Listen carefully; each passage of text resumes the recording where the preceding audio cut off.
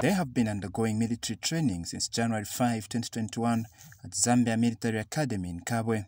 These are Zambia Army officer cadets who have today been introduced to the battlefield environment to test their courage at Tagaga Gallery Range in Ndola.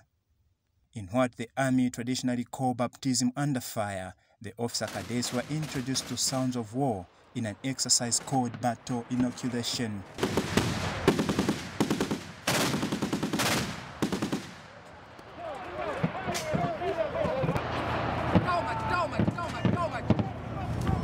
Zambia Army Commander Lieutenant General Sitali Alibuzwi said the battle inoculation is an important exercise for officer cadets to have a feel of the fluid battlefield environment in a worst case scenario.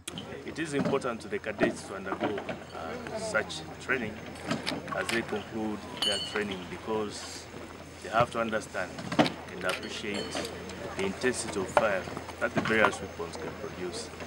By so doing, they'll be able to be baptized into the Zambia Army.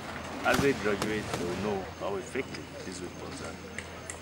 He, however, said the army could not fire high trajectory and higher caliber weapons due to encroachment of the training area by citizens. Brought them here to have a battlefield environment by experiencing fire from various weapons of the Zambia army. We couldn't bring everything on ground because of the limitations of the range where it is now encroached. And therefore we had to do mostly with the direct fire weapons. The battle inoculation is an important exercise for officer cadets to have a feel of the fluid battlefield environment in a worst case. Remember to hit the like button, place a comment and subscribe. Thank you so much for watching.